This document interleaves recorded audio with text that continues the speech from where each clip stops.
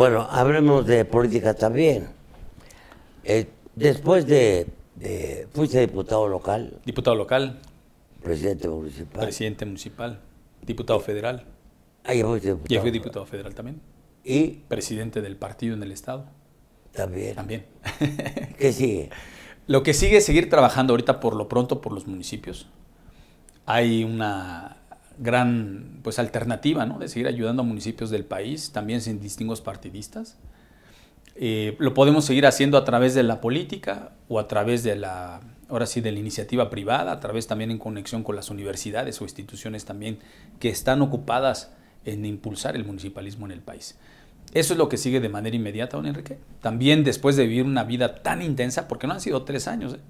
fueron los tres años, fue el periodo de transición, fue la campaña, fue la precampaña. Estamos hablando de casi cinco años de un trabajo intenso que hemos tenido también como familia, pues también regresar un poquito ese tiempo y ese espacio que a nosotros, en lo particular, mi esposa, mis hijos, nos ayuda muchísimo. Pero eso es lo que vamos a hacer inmediatamente.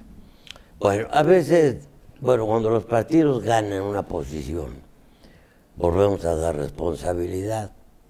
Unos pueden con ella, otros no. Hay partidos que luego pierden una elección y se descomponen. Hay otros que ganando también se descomponen. Así es. En este caso, ¿qué pasa en Acción Nacional? Que después de dos sexenios en la presidencia de la República, el PRI regresa a Los Pinos con, con Enrique Peña Nieto y hay turbulencias al interior del partido. No hablo de que dos o tres personas aspiren a dirigir eh, Acción Nacional, sino las cosas que se dicen, una división. No entiendo, por ejemplo, la declaratoria de Vicente Fox. Me- me- me- Sí, sí, sí, nos No, no. No, no, no lo puedo creer. Sí, no, claro. No puedo creer que Obama vaya a votar mañana por el candidato del Partido Republicano. Claro, totalmente de acuerdo. Cosas absurdas Sí, como sí. esas hemos vivido en la política mexicana. Así es. ¿Qué pasa en el PAN? En el PAN, como usted dice, hay una turbulencia, producto del proceso de perder la presidencia de la República. Eh, esta situación, yo creo que el mayor reto que tiene Acción Nacional, don Enrique, es su unidad.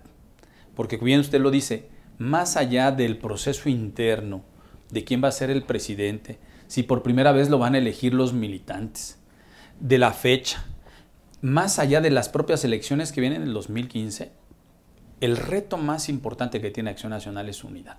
No va a importar en verdad quién gane o quién dirige el partido la próxima etapa, sino con qué tanta unidad lo puede hacer. Y el PRI ya pasó por ese proceso. El PRI cuando perdió la presidencia de la República vino un proceso también de descomposición y una turbulencia bastante fuerte.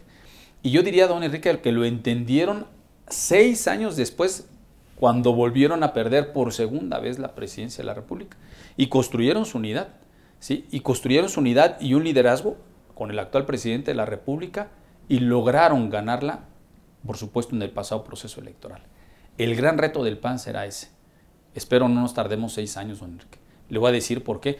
Porque en la medida también que el partido esté unido, vamos a poder ser en verdad un instrumento de servicio a los mexicanos y mexicanas. Y ese, ese es pues eh, la meta que tenemos que trabajar. Y yo también estaré colaborando en la trinchera, yo participaré todo aquello en que abone a la unidad de acción nacional. Hay dos candidatos visibles, ¿no? Pues, Cordero y Madero. Cordero, Madero, se habla de Oliva también, Josefina por definir o decidir, ¿no? Estamos yo creo que ya semanas que se saque la convocatoria y que estaremos viendo quiénes son los candidatos. ¿Ya tienes tu candidato? No, todavía no. Todavía no. Quiero ver que se lance la convocatoria y quiero ver, pues obviamente, quiénes al final son los que alzan la mano. ¿Qué te parece Vicente Fox? Me parece desafortunadamente que no fue un político congruente en el discurso, que no fue un político que haya mantenido ¿sí? una forma de actuar y de hacer cuando conocimos, cuando fue candidato y también cuando fue presidente de la República. Yo creo que hay cosas, don Enrique, que también como político a veces hay que callar, ¿sí? Y a veces hay que ser prudente, y no por una falsa prudencia o no porque no se tenga que saber en público, sino también por cuestiones de cortesía y yo diría hasta de caballerosidad política. ¿Y a qué me refiero, don Enrique? Él fue, fue con Josefina Vázquez Mota, ¿no? Este, le pidió disculpas, ¿no? Dijo que le iba a apoyar y luego después a la semana, como usted bien dice, ya estaba apoyando otro partido. Y no estaba mal que él hubiera tomado esa decisión. El problema es la incongruencia de nosotros cuando en política o como seres humanos decimos una cosa y hacemos otra.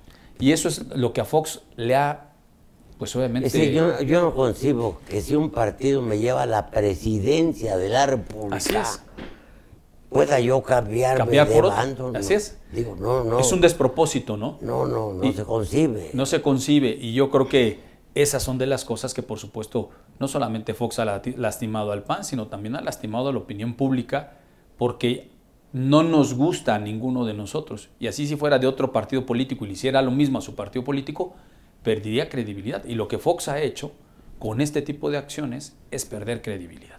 Los partidos que pierden el poder se descomponen irremediablemente, porque se produce un desconcierto, un reparto de culpas, eh, y nadie quiere asumir la responsabilidad. Lo viste en España con el Partido Popular. Así es. En fin, vamos a, ahora vamos a hablar de seguridad, claro, que es un tema muy interesante y preocupante. Claro, y de las autodefensas. a ver qué opina.